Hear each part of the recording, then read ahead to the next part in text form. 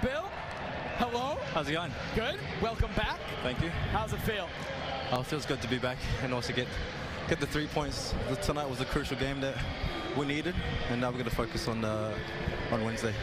Bill, that ball to Niezgoda in the second half to set up that that chance. I mean, what vision, what technique, just to get that second goal and get it going on.